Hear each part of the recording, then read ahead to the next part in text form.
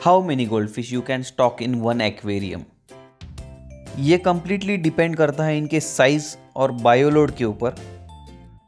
वैसे तो ये साइज़ में बहुत बढ़ते हैं और ये बहुत बायोलोड प्रोड्यूस करते हैं, ये बहुत पूप करते हैं। तो उन्हीं सारी चीज़ों को ध्यान में रखते हुए आपको इन्हें स्टॉक करना चाहिए। तो इनकी मिनिमम टैंक साइज़ रिक्वायरमेंट होती है 20 गैलन उसमें आप दो गोल्ड फ़िश रख सकते हो।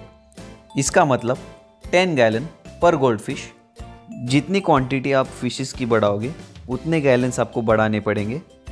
For example if your tank is 60 gallon then आप उसमें छः गोल्ड फ़िश रख सकते हो।